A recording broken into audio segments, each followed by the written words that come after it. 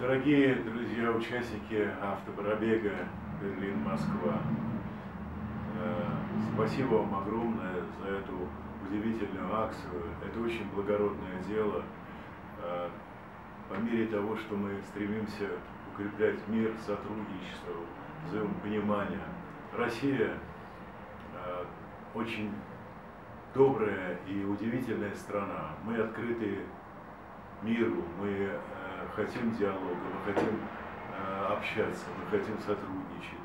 И поэтому поездка, которая состоится, она, конечно, очень важна, э, в первую очередь, для наших граждан, для нашей России. Э, вы получите огромное удовольствие, повидав наши края, познакомившись с памятниками архитектуры, встретиться и встретившись с замечательными людьми, России. Я думаю, вы получите огромное удовольствие. Это послужит на благо мира, на благо добра во всем мире.